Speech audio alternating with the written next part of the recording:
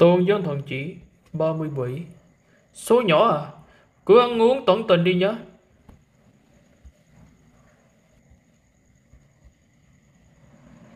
Mau lên, Các đức giúp ta những cái đôn. Còn lại đi. Hất Long phá nghịch, Vĩ đại A Phu, Ra lên cho nhà người đó. Người nói năng kiểu gì thế? Hãy mau cách xích cho ta ngay bây giờ.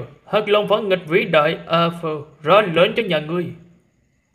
Hắc Long phản nghịch vĩ đại à, A Phơ à Ta đã giúp nhà ngươi Cắt một đoạn dây xích, Chính là để thể hiện sự chân thành của mình. Vậy ngươi có chịu giúp ta hay không đây? Còn ra lệnh cho ta, Ngươi dựa vào cái gì đây?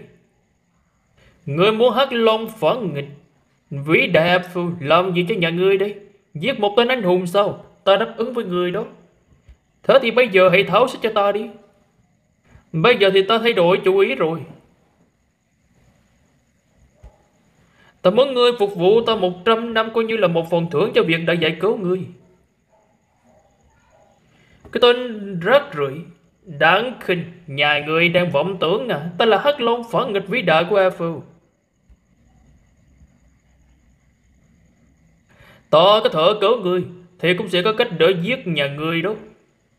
Nếu như ngươi không bận lòng đáp ứng yêu cầu của ta, Thì ngươi chỉ có thể trở thành bọn đập để ta nâng cao thực lực mà thôi. Ta nghe nói trên người cử long toàn là kho báu. Không biết là ta có nên lấy xương của ngươi Để làm nên một vài món vũ khí tốt không nhỉ?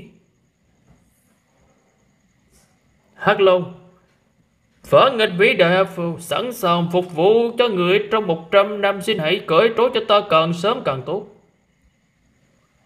Ta không muốn anh lại cuộc sống xiên xích này thêm một giây nào nữa cả. Đừng có vội thế chứ. Kỹ bà khứ hức cái gì à? Ngươi!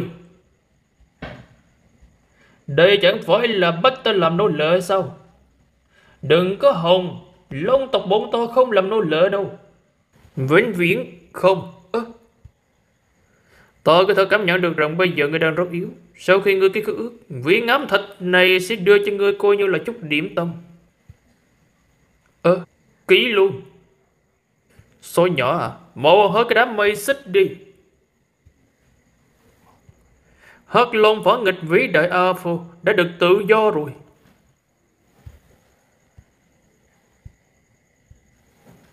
Tòa nhà công hội Đa Long Thành con hắc long kia vừa thoát khỏi phong ấn Chắc hẳn bây giờ nó vẫn đang ở trong giai đoạn suy yếu Năm người chúng ta phải hợp lực lại để tiêu diệt nó anh hùng cực võ thánh Một khi con hắc long thoát khỏi phong ấn, Thì nó chắc chắn sẽ tìm một nơi bí ẩn để ẩn trốn và lấy lại sức mạnh Anh hùng thánh nữ, Mà khu vực bên ngoài thành phố rất rộng lớn Nếu muốn tìm thấy nó thì cần sự giúp đỡ của tất cả các thám hiểm giả trong đá Long Thành đó.